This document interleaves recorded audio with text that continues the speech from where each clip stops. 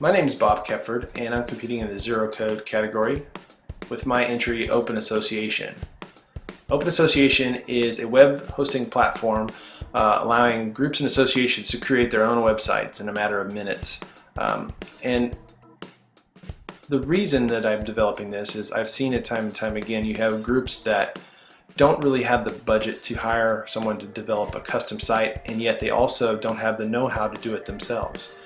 And while there are free options out there or very cheap options for hosting a website, most of them are not geared toward a group or an association um, with their needs in mind. So Open Association is built from the ground up to work the way groups need it to work and the way associations need it to work. Um, and you can find out more at openassociation.us and I hope to see you at 59 Days of Code.